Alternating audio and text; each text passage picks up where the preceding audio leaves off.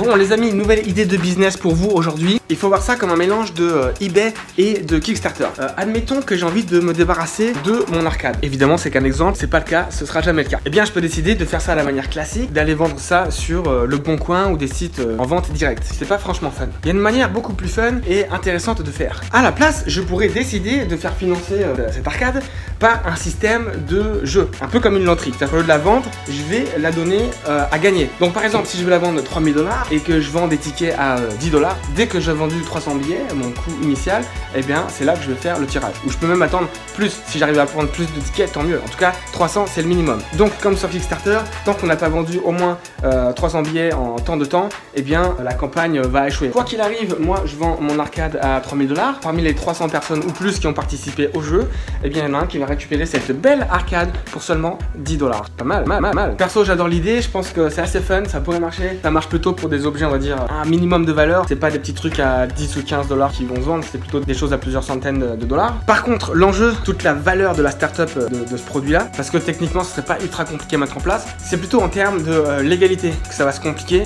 parce que dès que quelque chose s'apparente à une loterie ou un jeu d'argent ou un jeu de hasard comme celui-là, tous les états, les provinces, les pays ont des, règlements euh, très spécifiques et très compliqués parce que les jeux d'argent, blablabla. Mais rien d'impossible parce qu'il y, a des sites de jeux en ligne, il y a des sites de loterie, de hasard, etc. Donc faut juste se galérer un petit peu avec tout ce qui est administratif, euh, légalité pour mettre ça en place. Mais honnêtement, une fois que tout ça est mis en place et qu'il y a un moyen légal de le faire, je pense sincèrement qu'il euh, y aurait du potentiel. Mais dites-moi ce que vous vous en pensez. Est-ce que vous aimez l'idée? Est-ce que vous pensez que ça pourrait marcher? Est-ce que vous connaissez idées un peu similaires.